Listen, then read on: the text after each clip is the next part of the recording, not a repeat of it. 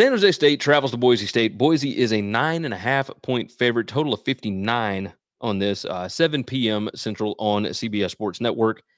And we'll pull up the numbers because we will go quickly on this. My number makes it Boise minus 7.45. Uh, and I've got a significantly less total than uh, than the actual total.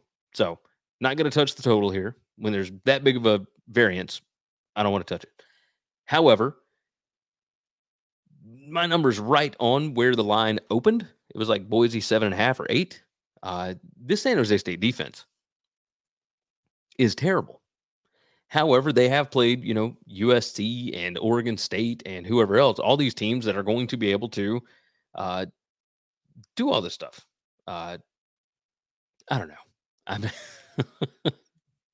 I look at this and and I don't know how San Jose State is going to stop Boise. However, when you look at Boise on defense, that's a whole lot of red. Andy Avalos' defense has not been good at all. Right up here to the top, you can tell it. Defensive uh, PPA per drive is number 118.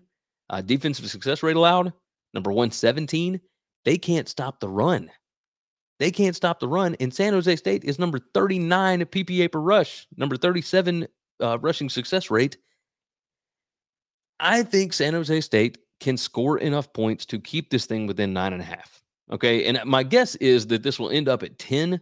Uh, yeah, I already see a couple of books that have 10. I think DraftKings just did 10.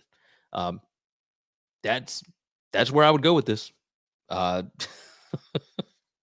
I just think San Jose State can score. I like their offense. I like what they do. Uh, both of these defenses are kind of garbage. And if you're a fan, I'm sorry, but it's true. Numbers don't lie. Kind of.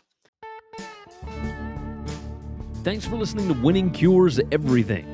Make sure and follow me on Twitter at GaryWCE. If you want to toss in a question, you can email me, Gary at winningcureseverything.com. Make sure and hit that subscribe button, and we'll see you next time.